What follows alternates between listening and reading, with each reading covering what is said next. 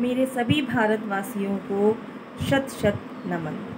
मैं मिसेस शंपा गुप्ता के international school की साइंस टीजीटी टीचर, आज आप सबके समक्ष एक अपनी बनाई हुई कविता कारगिल दिवस के अवसर पर उन उन वीर सैनिकों को श्रद्धांजलि के रूप में प्रकट करना चाहती हूँ, जिनकी वजह से हमारा गौरव आज भी कायम है। मेरी कविता इस प्रकार है। जहाँ अमावस की रात भी बेमानी हो जाए, जिसके आगे तूफ़ानों के भी कदम डगमगाए तपता सूरज हो या खौफनाक लहरें हो, होलियों की आतिशबाजी हो या प्रकृति के घाव गहरे हो। शब्द परिचय आदि का अधीन नहीं है जो, मिट्टी की खुशबू में लीन है जो, न भाव से, न घाव से।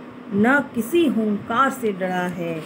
पलक उठाकर देख ले बंधु, सर पर कफन और हाथ में तिरंगा लिए मेरे भारत का वीर खड़ा है।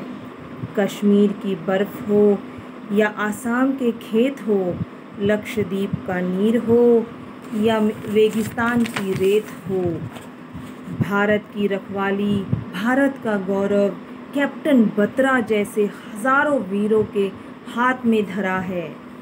कारगिल दिवस नहीं, कारगिल युग मनाएँगे। इतिहास के पन्नों को पलट कर देख लो।